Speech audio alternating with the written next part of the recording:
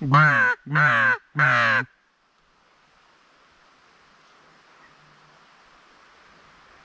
bah, bah.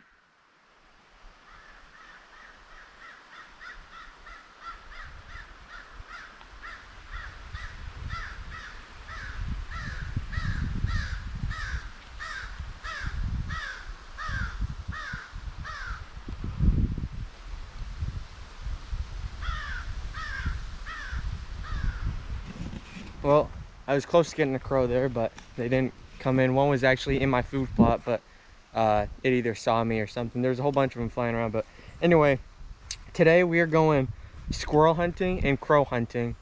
Uh, probably it's gonna be more squirrels than crows. It's uh, it's really windy right now, which is never is never really good. But I did hear a squirrel when I got out to try to shoot one of those crows. But today I'm using my old 410 uh, single shot break barrel. I love this gun. It's a great gun. But uh, yeah, we're gonna go see if we can get any squirrels or crows. So uh, stay tuned and we'll see what we can find.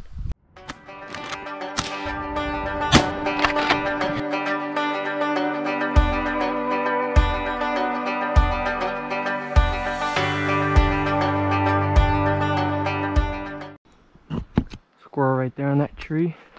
Just gotta wait for his head to pop out. There he is on that branch. I don't have a super... If he just sticks his head out a little bit more. Maybe I'll try it like that. Come on, buddy. There it goes.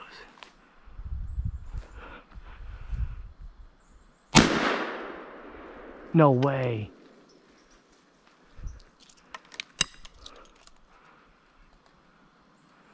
I think, I don't know if I got him or not.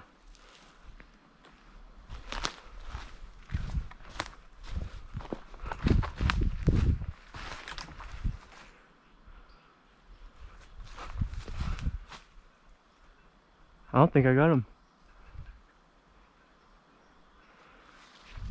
He climbed down this tree here. Probably snuck into one of these holes. Well, that does suck. I don't know if I, I, I, I must have hit him. I mean, there's no way at least one BB didn't hit him. That's happened before with the 22. I shot, I shot a squirrel, and it ran down the tree and climbed into a hole. And I actually reached my arm in there and and and and I and I got him, and he was dead. So maybe that's what happened there, because he I stayed there for a minute. He didn't come back out. So, but we'll go find another one. I'm sure there's more.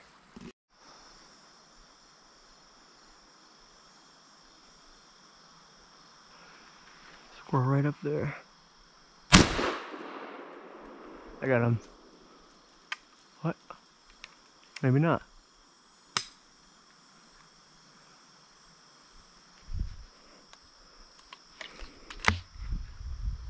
Oh no, I think I hit him. Well, I know I definitely hit him, but he's staying up there. I think he probably lodged himself against a branch or something. I'm not going up there to find out. Huh. I can't really see it all. Oh well. Well, I definitely got that guy, but he probably got himself in between a branch or something and is just staying up there. Probably it probably wasn't a super clean kill. But, oh well. At this spot, I like to I like shooting squirrels down here because I got a my cabin is on that island right. So that's an island right there, and there's all kinds of squirrels over, and they get into stuff. So it's good to get rid of them. I would have liked to know if I actually got him or not. I def I definitely hit him or something though.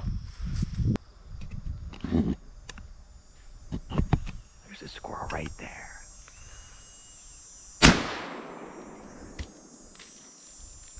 Finally! Why'd that take so long? He's dead, that's just his nerves. I got a good headshot on him.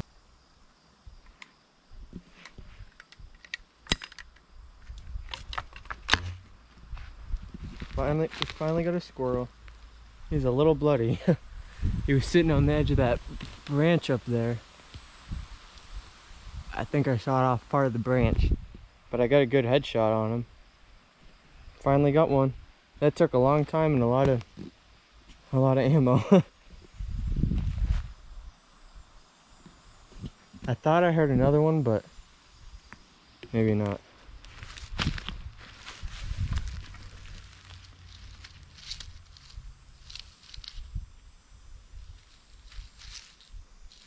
Yeah, he's a little bloody.